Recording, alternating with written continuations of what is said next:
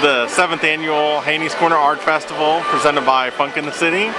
And we have over 105 artists here today that are from primarily around the region, but then we also have some special guests that come from as far away as Ohio, uh, Pennsylvania, and we have uh, this year from Gillette, Wyoming, made the 24-hour drive is uh, Chris Amon.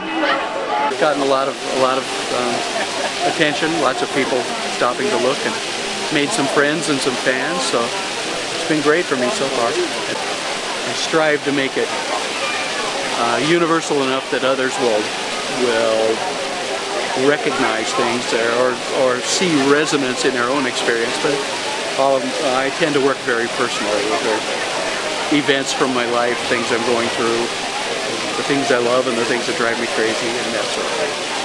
I think it's great. I love it down here.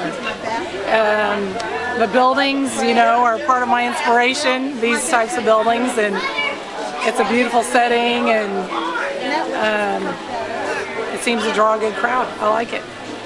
This is my third year down here. I think it's a great event. Um, I think it's a good location and I do know they've had a lot of artists and they have a waiting list to get out here. I like to combine a lot of textures. I will throw and then hand build on most of my pieces. Um, color and texture and form are very important to me and, and items from nature. I have a lot of leaves or um, vessels to display flowers. I've been coming here every year since the beginning. These little squares, for example, I stamp that one at a time with a leather stamp, and then I fire it. Then I take copper, powdered copper, and I rub it in where I want it, and I rub it off, all except for the squares. And then I glaze over it and fire it again. I just like to be free with a knife and go for it. I paint mostly with a knife. This is just a good show. There's always a lot of people. We operate Glowing Sands Glass Art, uh, a gallery down here in the Haynie's Corner Arts District. Um, we've got blown glass, uh, kiln formed glass, uh, and photography. Well, the style is kind of a, a mix of some Venetian technique that's kind of been transferred over to the torch. Uh, the Haynie's Corner Art Festival, uh, the traffic that it brings um, just gives you an idea of, of what could be down here on a regular basis.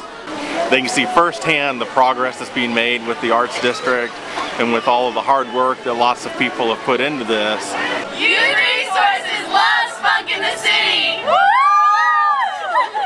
And, and also just realize that, you know, we really have a thriving arts community in Evansville. Uh, we're very proud that with this event we're able to draw a lot of attention to this very special neighborhood and to the cause of, of improving and growing the arts community in our in Evansville.